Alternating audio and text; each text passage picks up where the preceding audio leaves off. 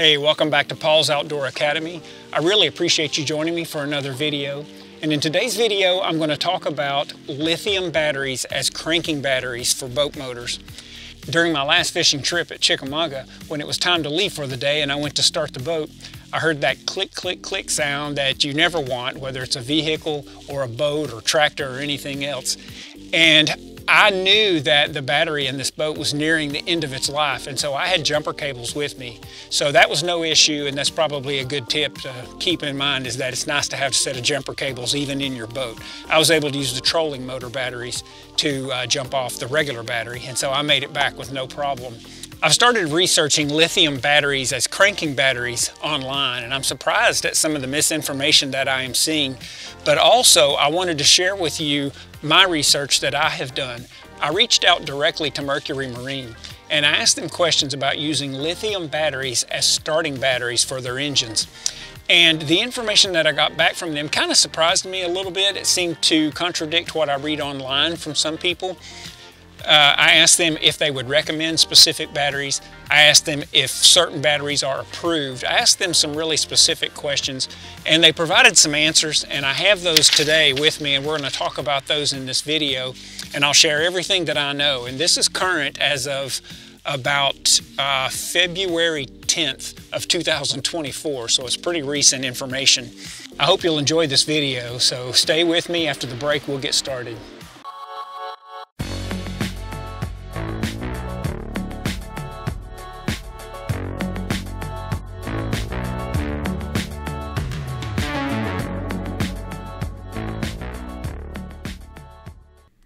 Okay, so the first thing that I'll say is when I got online and started researching this topic, I could not believe the amount of information that was available. Everyone has an opinion. Uh, there is some great information out there. There's some information that I think is misleading, etc., etc. And so, the first thing that I did is I started to go out and just research what other people have to say about this topic, and I thought we would look at some of those. Now, this first topic is actually not about cranking batteries but it is about lithium batteries being used with trolling motors, and I thought it would be interesting to look at this one. So it says, was told yesterday that you can't use a lithium battery with a Minn Kota because the battery is too powerful for it and will blow the motor if running continuously, as in anchor lock or trolling. What's everyone's thoughts? Cheers. And so the first thing I did is I looked over to the left to see how people are responding, and I saw smiling or actually laughing faces and thumbs up, which kind of tells you how people are engaged. And the other thing that I noticed on the right side was that there are 51 comments.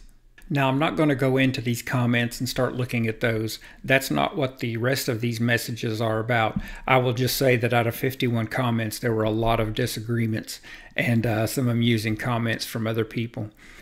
Now, this next comment is about cranking batteries. And it's a question to start with. Thinking about moving to lithium? We would be happy to go over your setup and build a custom package for you, as well as offer you discounted package pricing. Fill in the blank is the leader in lithium technology, first with the 16 volt lithium electronics battery. They offer the best warranty, 15 years total, 10 years non prorated. They also have the only cranking lithium that meets or exceeds all Mercury's new specs to satisfy warranty, besides the Brunswick owned Relion. This is obviously a salesperson or a distributor of some kind who sells lithium batteries. And maybe at the time of them writing this comment, this was true, but I noticed they used the word only. Now, it may not be obvious, but this person is actually being passive aggressive, and I'm going to tell you why. Look at this last statement. They also have the only cranking lithium that meets or exceeds all Mercury's new specs to satisfy warranty besides the Brunswick owned Relion. Now, the specific battery they're referring to is this one made by Relion, and it's not just the brand, it is the actual specific model, the RB100 HP, which is a 12.8 volt and 100 amp hour battery. And we'll talk about that more in just a minute. But the main thing I wanted to mention here is that this brand of battery called Relion is owned by a parent company named Brunswick. And it just so happens that Brunswick also owns Mercury Marine. So let's look at this next comment that says that if your engine is using a stator and not an alternator, then you can't use lithium as a cranking. I don't know why it just ends there, but it does. A stator doesn't have the high enough output to charge a lithium to full capacity and also could damage your engine. That's what I was told after doing lots of research came to the same conclusion. Okay, so if you don't know what they're talking about when they say stator, they're talking about a stationary rotor or a stator for short. And another thing that you're probably more familiar with is an alternator. And if you're wondering why that's even important, larger boat motors tend to have alternators, and smaller boat motors like mine, the 115 horsepower Pro XS, still have stationary rotors or rotors under the flywheel. Alternators have built in voltage regulators and they produce DC current right out of the gate, where stationary rotors produce AC current and that current has to be converted to DC voltage with something called a rectifier. And so this person's basically saying that if you have a stationary rotor on your boat motor, it doesn't produce enough electricity to charge a lithium battery and could be harmful to the motor. And I will talk more about that in a minute, but for now, let's go on to the next couple of comments. So the comment on top says, based on my research, it's not recommended to use lithium batteries for cranking. And that is this person's opinion. Everyone's entitled to one, but I do notice that they are a top contributor, which means on whatever website I got that from, this person has a lot to say. Moving on to the one on the bottom, it says, Personally, I would not use a lithium iron phosphate for cranking. Too much can go wrong, even with a battery specially intended for cranking. If the battery dies, and they do, you can only jump it with an identical battery or a lithium jump pack. Your alternator could possibly damage the battery two things come to mind. One is not all boat motors have an alternator. We've already talked about that, such as mine, which has a stator and a rectifier to convert the voltage. The second thing that comes to mind is that a lot of these lithium batteries have battery management systems built into the battery. In fact, they're wireless so that you can monitor them on your cell phone. And those battery management systems are built to protect that battery from being overcharged. Now, I'm not going to go into a lot of detail, and I'm definitely not going to read all these words word for word, but I at least collected some information on four of the uh, bigger brands of batteries that are out for sale right now. All of these are cranking batteries, and every one of them have a battery management system. And you can kind of pause the video there if you want to and read all about Relion and Dakota read about Monster, and then read about the Ionic brand. But the main thing that I wanted to point out, if you look at all these individually, minus the images of the battery, and just look at the specifications, you're going to see a lot of similar technology, such as preventing over discharging, um, high voltage cutoff, short circuit protection, um, over voltage during charging, over current during discharge, etc. Okay, so now let's start looking at the main thing you probably came here for, and that is the most recent update available for Mercury regarding the use of lithium ion batteries as starting batteries. So let's start right off at the very top of the document, and you'll see that it says lithium ion use approval for outboards. Now, I want to remind you that this comes in the form of a technical service bulletin. So when you see models affected, don't let that throw you because that's kind of confusing and makes it sound like something is wrong. and that's not the case here. So the next thing that you may have noticed is that this says revised November of 2022. I don't want you to think that I have misled you or lied to you about this being current as of February. This is the response that I received back from Mercury when I asked them the question about lithium batteries. And there's a lot of good information here, even with this having not been updated since November of 2022. First off, the only reason that they updated this from the previous version, which was in September of 2022, was because they added the V10 Verado outboard models to the list of lithium ion use approved Mercury outboards. All right, so let's see what else we can get out of this document.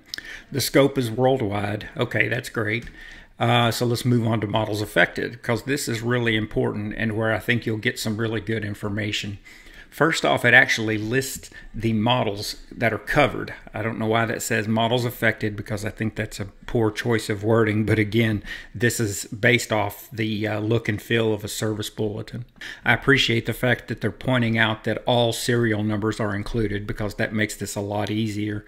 So we can focus on the specific models covered, and there's some really good information here that may not be obvious, but look at the size of the motors that are included in this. The 2.1 liter 75 through 115 horsepower four stroke, all the way up to the 500 and 600 horsepower SeaPro and Verado motors. There are a lot of different models in here, and you would have to be really careful to specifically look up uh, your boat motor to see if it's included in this list. So one thing that's really interesting here, and I'm not sure if you would pick up on this if I hadn't already talked to you a little bit about stators and alternators, is if you look at the size of motors here, you have both. You have motors with alternators, and you have motors like mine, the 115 horsepower, that still has a stator. So I wouldn't worry about that as far as choosing whether or not to use a lithium battery based off the charging system you have on your motor. So looking down to the next section, this is where you're going to get into the nitty gritty specifications that a battery has to meet in order to be permitted for use. I do think it's kind of funny they use the word situation, but again, technical service bulletin, keep that in mind. The situation for me was that I needed a new battery and I wanted to take advantage of lithium if that was an option. Okay, so once again, I'm not going to read this verbatim, and if you want to look at these specifics here, you can pause the video and take a look at all these. It's not a lot of specifications. If you go to websites and start looking at the specifications on batteries, some of them have 20, 30, 40 different items that describe the exact specifications of that battery, and they're only giving you a handful here. The trick to this is actually being able to take the information you see here and compare that to batteries online to see whether or not they meet those specifications. And it's because they use different terminology to describe some of these things. So, right off the bat, the first thing it talks about is what is the chemistry or the format of the battery. And it specifically says lithium iron phosphate designed for marine cranking use. Now, some of you may be saying, oh, shucks, the battery I was looking at doesn't say that it's lithium iron phosphate. It says LiFePO4, whatever that is. Well, that is the written out form of LiFePO4. And you can kind of break that down by lithium and iron, and then phosphate is the PO4 part of that. But just so you know, lithium iron phosphate is the same thing as LiFePO4. Okay, so moving on to the next section, there is a note that says use at temperatures below 32 degrees may require optional equipment, such as a battery heater not supplied by Mercury. Consult a battery manufacturer for assistance with cold weather use. Now, you're probably wondering what in the world does cold weather have to do with lithium battery usage? And one way to understand that is to consider cold weather like a bully at the school who's failed two or three class levels and likes to pick on kids and then consider the lithium battery and how it charges to be the little puny kid at school that everybody picks on. And it's my understanding that cold weather simply makes it harder to charge lithium batteries. For this reason, some of your bigger manufacturers, like Ionic, have both a non heated and a heated version of their lithium iron phosphate cranking battery.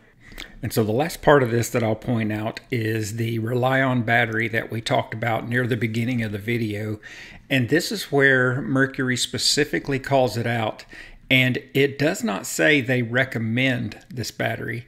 It simply says the battery has been evaluated and meets the requirements for lithium ion engine starting batteries.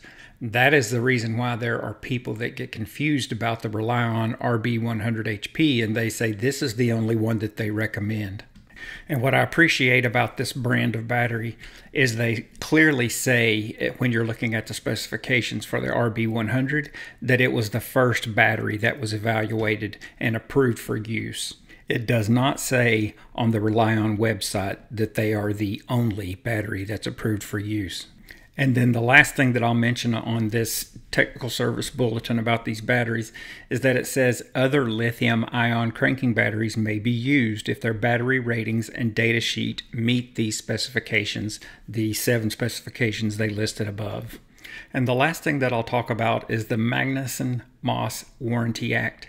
And you will see that listed on these websites of these battery manufacturers. And they're basically saying that Mercury couldn't tell you that your warranty is voided unless they could prove that the lithium battery is what damaged your Mercury motor. And the last thing that I'll say is I recently released a YouTube short video that shows my boat and shows me opening up the battery storage compartment, and you see all ionic batteries in there. Suffice to say, I upgraded to lithium for cranking and I chose the ionic brand.